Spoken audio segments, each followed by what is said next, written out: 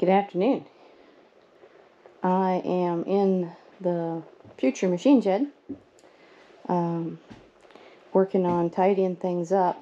Um, I have been insulating the walls, as you can see, and um,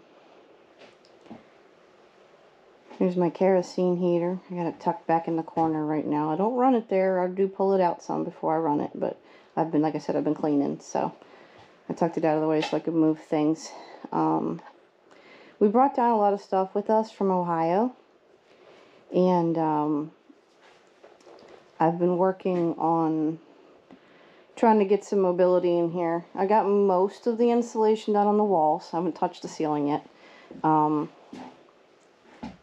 but I finally got this uh, this shelving rack put together that holds these black and yellow totes. It's built for that. Um, this particular rack is rated at 12,000 pounds if, uh, if it's put together properly. Um, I do not have it secured to the wall, so don't try this at home um, because my walls aren't finished. So I can't really secure it to something that's not there yet. Um, um, we brought down a bunch of timber on this, uh, on that trailer there a lot of sheet goods. The two by fours and stuff are still out there. Um, I haven't brought those in. They're still under a tarp. But James and I moved all of these um, their, their wall panels and um, uh, plywood. So let's see if you can see the edge here. The dog's down here in the way. So from from here to here are our wall paneling. And there's a couple here, but I'm not going to use these because I use these for housing birds at one point, and I don't want them in my walls. But And this is all plywood left over from my um, uh, building project that I had in Ohio. And it would have cost more to replace it all than it was for me to take the trailer up to Ohio and bring it down with me. So it was worth it. Um, so, uh, with the totes in that rack there and some of our things placed up in the, uh, the loft there, I now have room to walk um, to work down here. And I've got one more roll of insulation there in that cart that I'm going to be using to fill the corners and underneath the windows and all of these uh, these narrow narrow bays. I don't know what you call them. Um, this is only the third time I've done insulating. Um, first time I was helping my dad as a kid, basically just handing him stuff. But I learned how to do the stapling and how to um, how to friction fit. Um, I do have some gaps I need to fill because I didn't cut, you know, this piece or that piece long enough, and that's okay.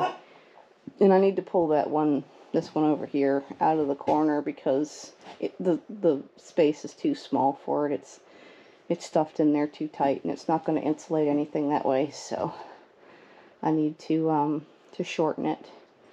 But I picked up some tips on on YouTube University to uh, figure out how to how to fit those small spaces and have it insulate properly. And then after that's done, then I get to do the ceilings. So I have uh, I've sourced some um, ceiling baffles. I don't know. They're supposed to let the airflow go between the ceiling and the insulation so it doesn't um, the ceiling doesn't condense into the condense water into the insulation and turn it into a mold trap.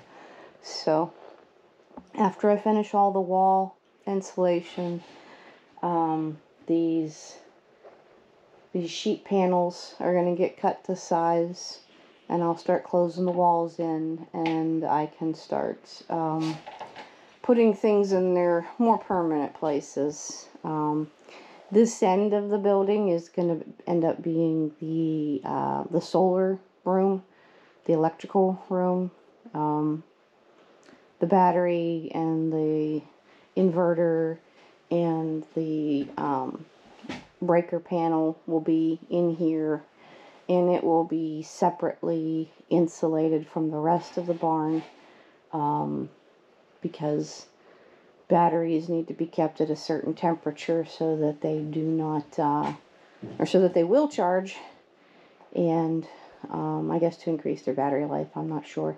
James knows more about that than I do. Um, he will be getting to that in a in a video of his in the future. But that's the card I put together um, for the for the solar battery so that he can roll it around at uh, his leisure when he needs to check cables and stuff.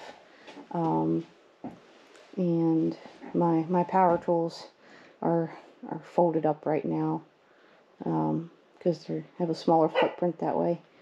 Um, in order for me to run them, I'll have to uh, uh, roll my generator down here and run the extension cord in or take these outside either way they have wheels so they're they're not too hard to move around um,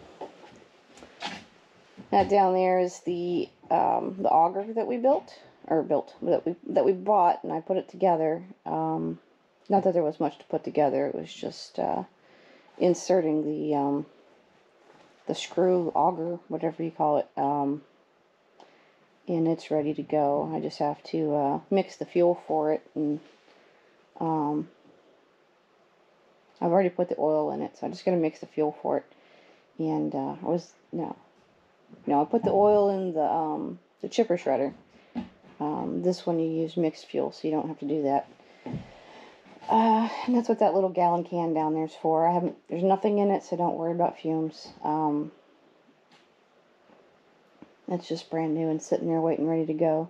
James's chainsaw waiting to, for its uh, initial use and my pole saw up top there that has gotten a lot of use.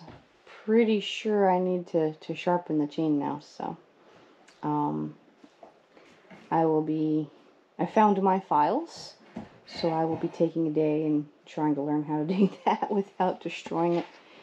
Um, so yeah, that's pretty much it for for my uh, what I've been working on lately.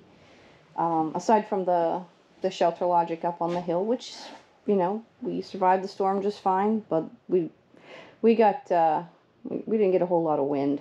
Um,